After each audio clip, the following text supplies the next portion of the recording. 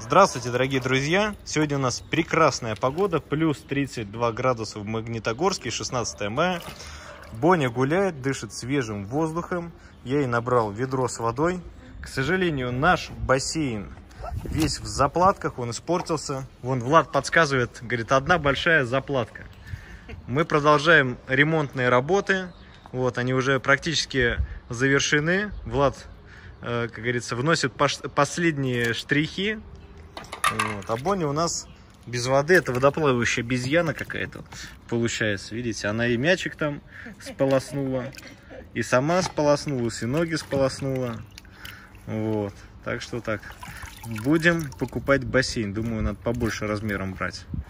Вот. Будем делать прямые эфиры с плавательных мероприятий и снимать видео. Всем хорошего настроения.